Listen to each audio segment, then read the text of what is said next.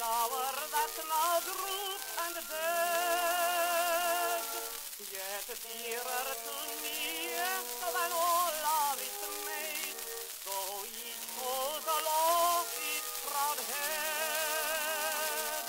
Twas given to me by a girl that I know, since we've met, faith I've known no repose. She is dearer by far.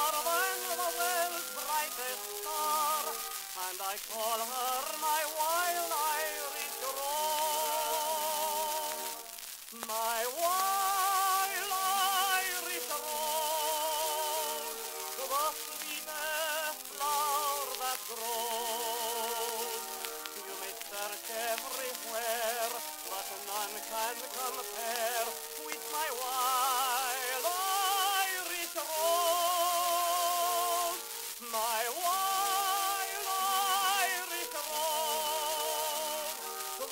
dearest flower.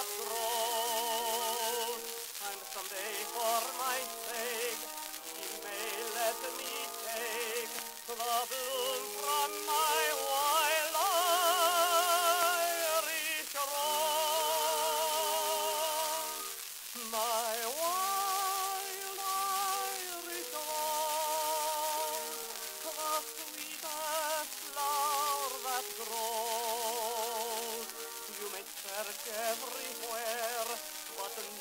can compare with my wild Irish rose.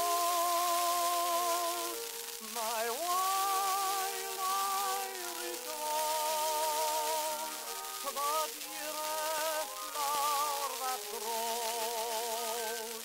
And someday for my sake, you may let me take the bloom